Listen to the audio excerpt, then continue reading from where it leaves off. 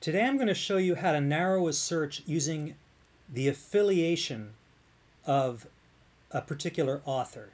So say for example, you know that I'm fond of using um, Dr. John Bilezikian uh, as an author. And let's say that you want to uh, use only the articles that Bilezikian wrote when he was at Columbia.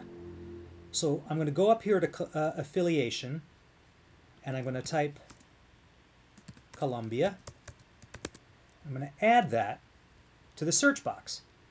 Now when I hit search, I get 342 results, and these are going to be only articles in which uh, John Bilezikian uh, appears as an author that come out of uh, Columbia. And interesting here is that right next to my former professor John Landry is a friend of mine, Don Landry, who is also who's now also a, a professor uh, at Columbia, and he, he appears here uh, on an article called The Extrapulmonary Manifestations of COVID 19. So, a great way to help narrow your searches.